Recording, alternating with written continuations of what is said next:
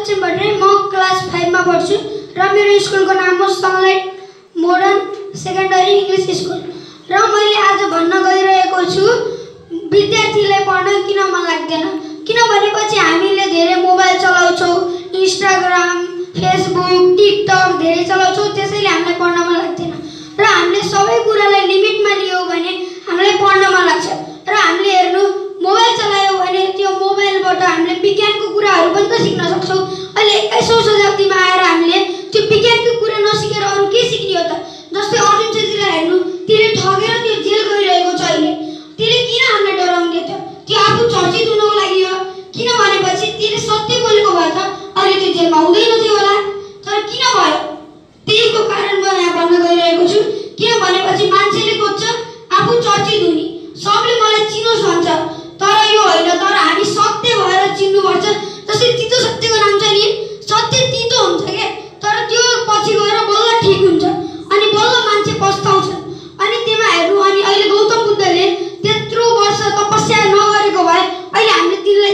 चिन्थेनौँ किन भनेपछि तिनले आफ्नो त्यस्तो राजकाजको ध्यान छोडेर आफू तपस्या गर्न गए।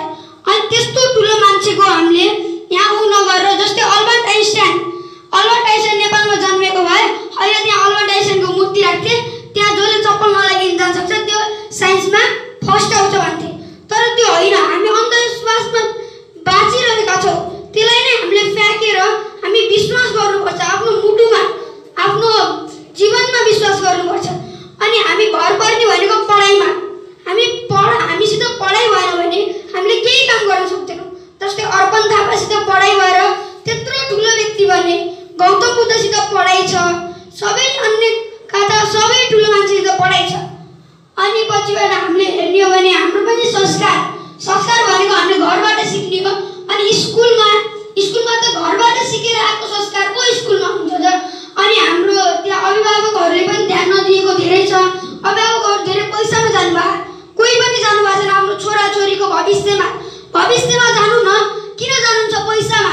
पैसा त हामी मरेर लग्दैनौँ मान्छेको जीवन हो मान्छेको जीवनमा जति राम्रो काम गर्यो त्यो पछि आउने मान्छेले सिक्छ पछि आउने मान्छेले सिक्यो भने त्यसको पछि आउने मान्छेले सिक्छ अनि त्यहीबाट त हो के अरे हाम्रो जीवनको राम्रो काम भन्ने हुने। नत्र त हुँदैन। तपाईँ पैसाको पछि नलाग्नु। तपाईँ ज्ञानको पछि लाग्नु। तपाईँ झुटो नबोल्नु। तपाईँ सत्य बोल्नु। तपाईँले आफ्नो डिसिप्लिनलाई हेर्नु अरूलाई नहेर्नु। अनुशासन भनेको एउटा यस्तो चिज हो।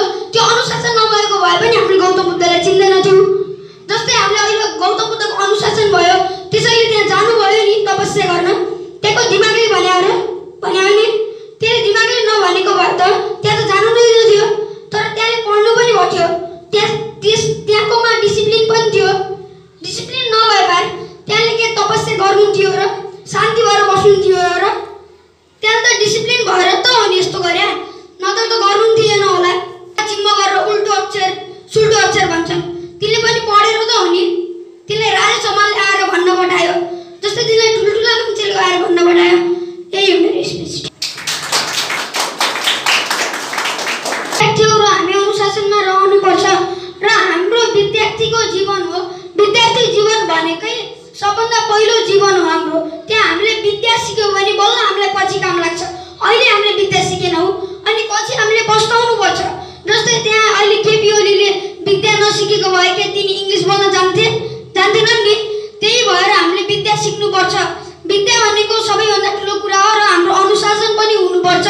हामीले अनुशासन सिक्ने भनेको विद्यार्थी जीवनमा हो अरू जीवनमा गएर हामीले अनुशासन सिक्न सक्दैनौँ अरू विद्यार्थीहरूले धेरै जस्तो लगहरूमा लागिरहेका छन् त्यहाँ मोबाइल चलाउनु पाएनन् भने कोही रुन्छन् कोही मम्मी बाबाले कुट्छन् त्यस्तो नगर्ने त्यस्तो गऱ्यो भने पछि हामीलाई नै धोका हो त्यही बेलामा हामीले त्यही मोबाइल चलाउनुको सट्टा पढिदिएको भए कति राम्रो हुन्थ्यो त्यही बेलामा हामीले त्यो मोबाइलमा त्यो अन्य गेम खेल्नुभन्दा त्यही बेलामा हामीले केही कुरा सर्च गरिदिएको भए कति राम्रो हुन्थ्यो त्यो कुरा अहिलेको विद्यार्थीहरूले धेरै नबुझेको छ र त्यही बुझाउन चाहन्छु मैले।